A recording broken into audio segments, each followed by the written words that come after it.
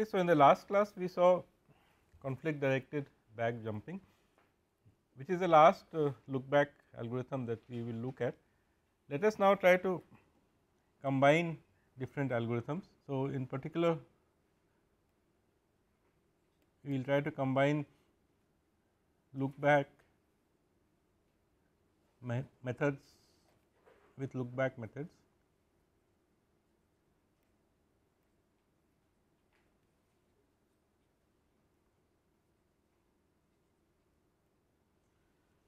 and the look ahead method that we will look at will be forward checking and the look back method will be conflict directed back jumping. And for good measure we will add uh,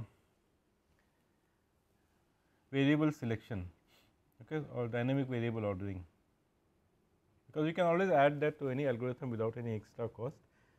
All it does is that it chooses a variable which is uh, most likely likely to have uh, the least number of values I think.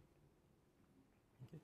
So, the basic idea here will be as follows that if you start with x 1 and then you go on to x i and you are looking at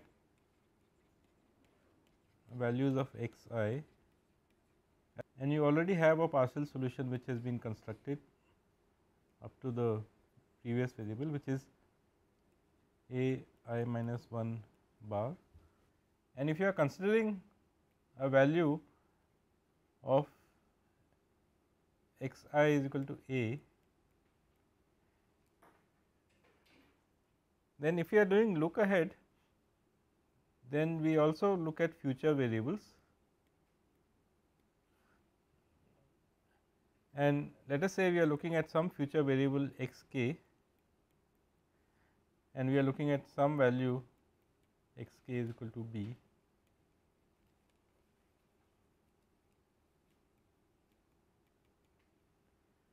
Okay, so, for all the values that are there.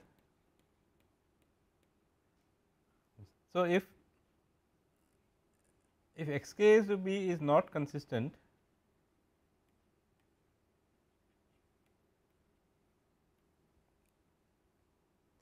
then we do the following that we remove it.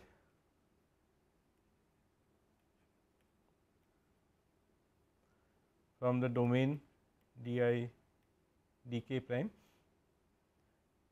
And 2 we add the variables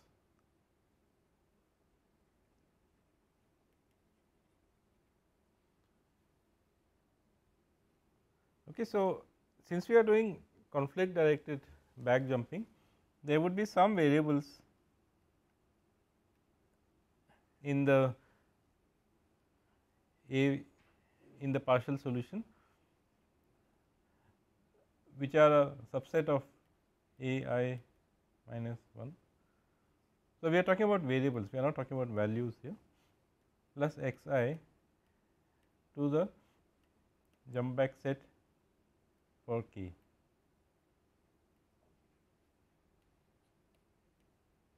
for variable x k. Okay.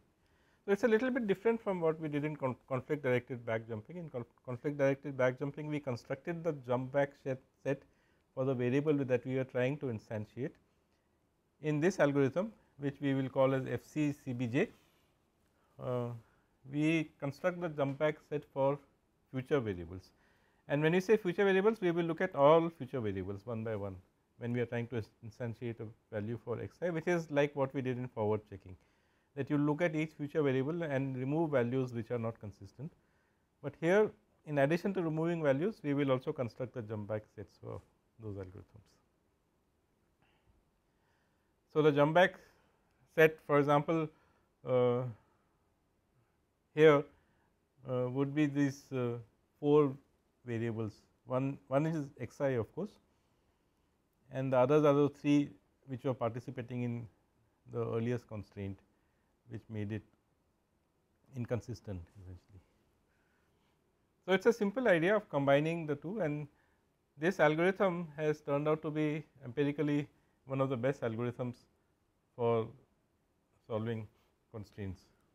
Okay, so let us look at this algorithm which we have called forward checking conflict directed back jumping and as before we start with choosing a variable, but in this case we first call the select variable function which tells us which is the next variable to select essentially. And then for all i we make a copy of the domains and we initialize JIR. So, maybe I should write it on the top because that is the first variable that we are initializing to the empty set And then it is mostly like conflict directed back jumping here. We get a value. So, while uh, while we are within the set of variables from 1 to n and we are looking at i is equal to 1 at this stage, we get x i as select value f c c b j. And as before if this value is null then we will need to jump back to the appropriate variable. Uh, we do by first making a copy of the current index and then jumping to the latest index in J i. And for the variable that we are jumping back to we take the union of the jump back sets the previous one and the new one and remove this variable from the jump back set and reset each dk prime are future variables for this variable that we are looking at. To I will just write earlier values here before we try to instantiate the previous variable essentially and else we move forward, but we select the variable that we want to move forward to by the select variable function that we had seen. So, I should write call select variable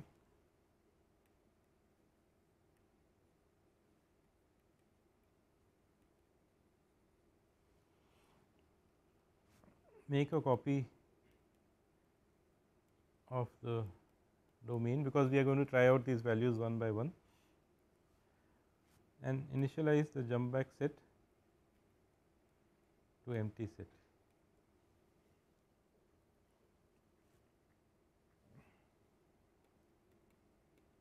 So, that is the main loop as you can see it is more or less like the conflict directed back jumping this thing we are jumping back to the latest variable in the jump back set and um, the only difference here is that we are selecting the next variable that we want to select essentially.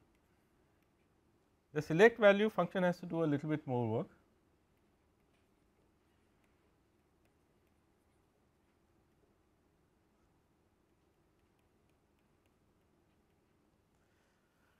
So, this is like Gaschnig's back jumping or conflict directed back jumping, it will try to look at the partial solution incrementally trying to see whether it is consistent or not essentially.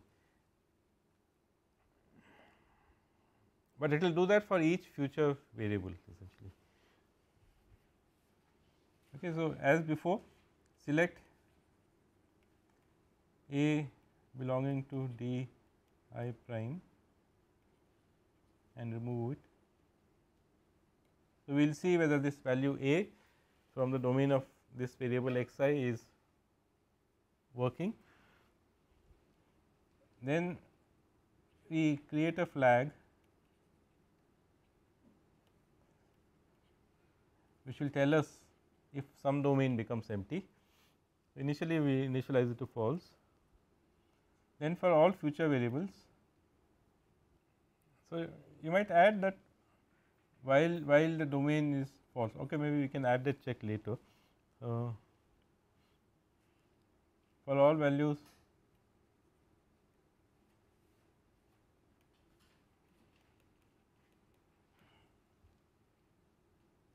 b in the future variable. If not consistent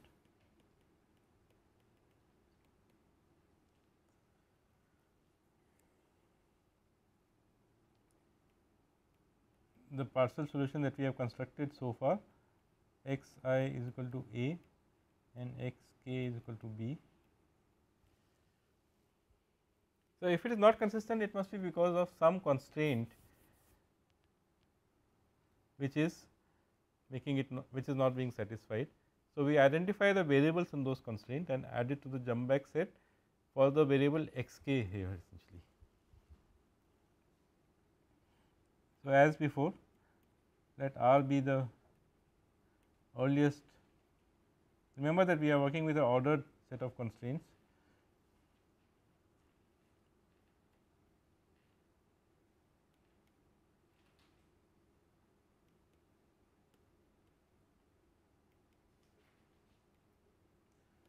and let S be scope of R. Then we add S minus x k to j k essentially. So, this is one difference from, from conflict directed back jumping that we are not creating the jump back set for x i, but for x k and for each x for each each future variable essentially. So, if it is not consistent you must of course remove v from d k prime essentially.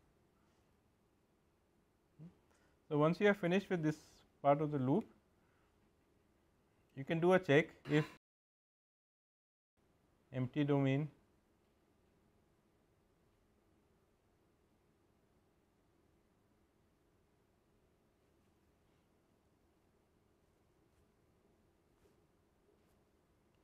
If d k prime is empty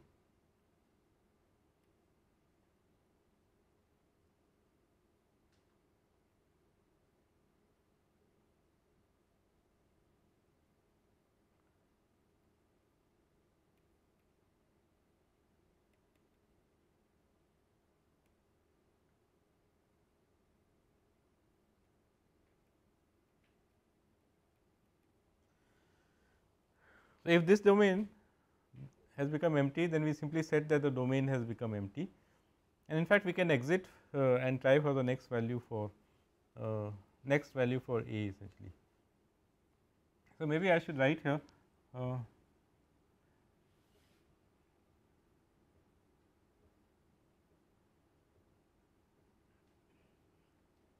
and a condition not empty domain.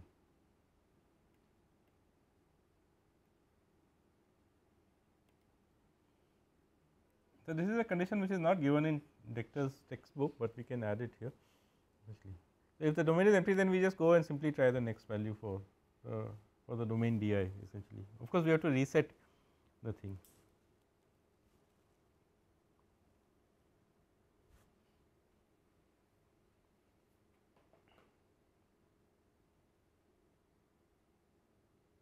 Okay, maybe the condition is already there.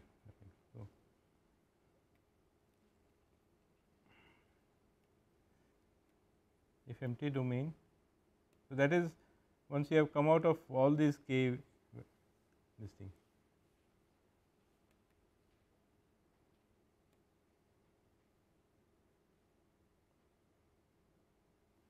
So, maybe I should write it here.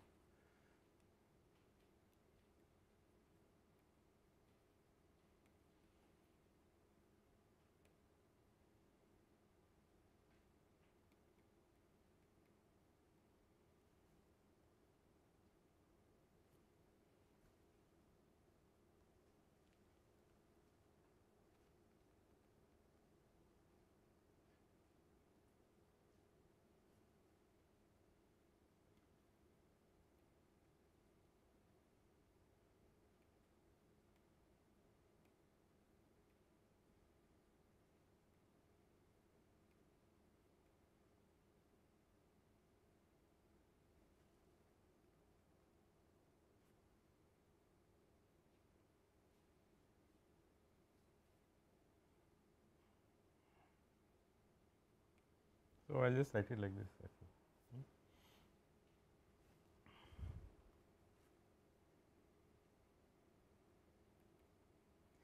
else return A. So, if you have gone through all all the future variables, okay, let us just do the test after that. You can actually do the test in, in between, but uh, let us just stick to the book and so after you have gone through all the future variables, and then if the domain is empty then you reset all the variables uh, and try the next value of a. Uh, if empty domain is not true then you just return the value of a essentially. And if you come out of the while loop, so there should be a while loop somewhere uh, and once you come out of the while loop uh, then you return null. So, all the rest is same as what we did when we were doing forward checking, except that instead of simply deleting the variables uh, values from future variables, we are also storing the set of variables which form the jump back set for the future variables essentially.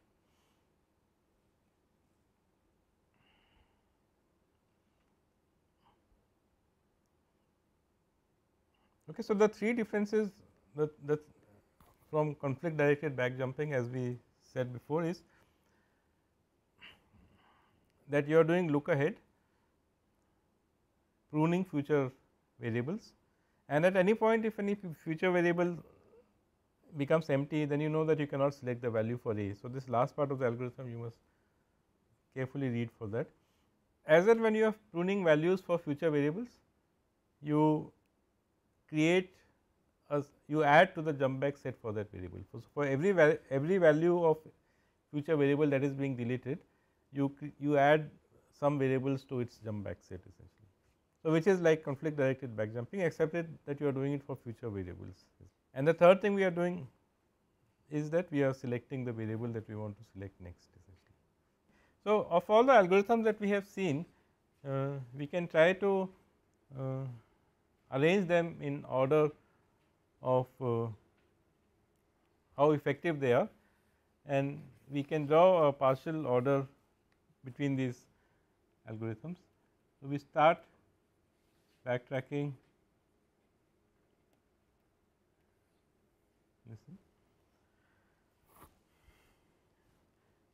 And then we have for example, Gaschnig's back jumping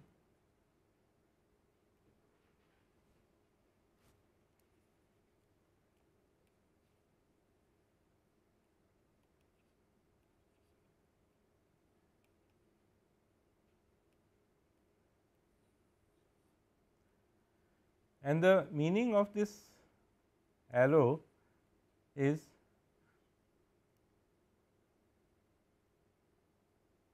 that the search space of Gaschnig's back jumping is contained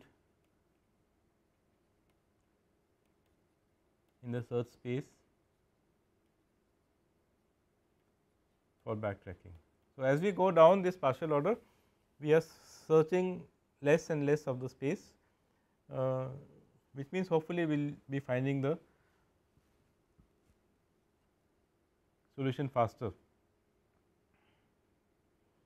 But every time we are doing that at the expense of some extra work, which you must keep in mind essentially. So, the next thing is forward checking that we had seen, uh, which, which obviously see searches a smaller space in backtracking. But if you remember the relation between backtracking and forward Gaschnig's backjumping and forward checking, we saw uh, when we were looking at this uh, n queens example that uh, Gaschnig's backjumping jumps back to that variable from which forward checking would have backtracked essentially. So, you need to go back to look at your notes and verify this fact and which means that forward checking has already uh, already backtracked from some some variable. Gaschnig's backjumping may go ahead and it may jump back to that variable essentially. So, Gaschnig's backjumping is doing extra work. So, the space for forward checking is smaller than that of this thing. Then we had graph based back jumping which cannot be compared to Gaschnig's because they are doing different things. Graph based back jumping is looking only at the graph topology, Gaschnig back jumping is only looking at the values that were conflicting essentially. So, you know depending on the particular problem one may do more or one may less, but there is no strict order between them. But conflict directed back jumping which was a combination of Gaschnig's back jumping and graph based back jumping is smaller than both those algorithms in terms of the space that it is thing. Then in forward check forward uh, after forward checking we had seen a series of algorithms uh, partial look ahead. So, I will just write PLO here uh, then full look ahead PLA full look ahead and arc consistency.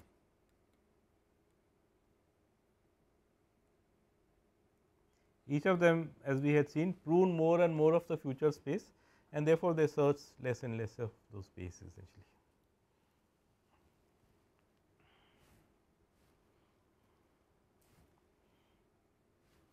Then the last algorithm that we looked at was FCCBJ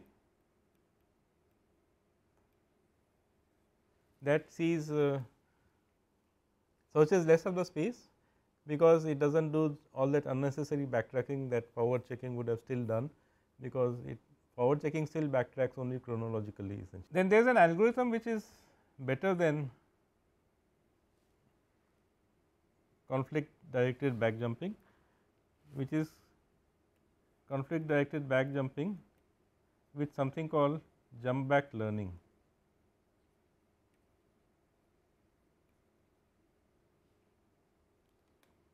This is an algorithm that we have not seen and that we will see in the next class essentially.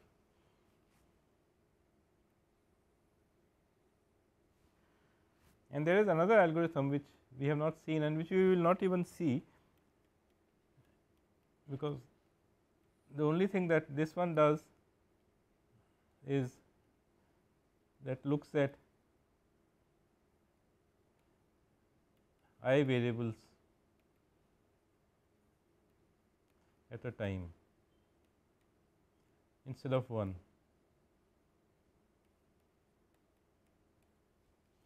So, you can see that in some sense it is trying to do work which is less local than our our local search algorithm essentially you are just taking the next variable and trying to get a value for that.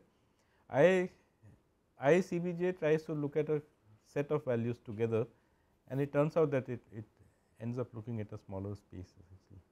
Okay. So, there is as you can see a partial order between these different algorithms in terms of the amount of work, amount of space that they explore, but also as you go down this partial order the amount of work extra work that you do has to be taken into account essentially. So, for example, when you do forward checking you are looking ahead to future variables before you assign a value to the current variable and all look ahead algorithms do that extra work. All back jumping algorithms construct some kind of a marker or a set to jump back to which is extra work that they do. And of course, learning that we will see next is uh, uh, trying to remember no goods. So, that we can identify them and not try to extend no goods essentially. So, we will do that in the next class.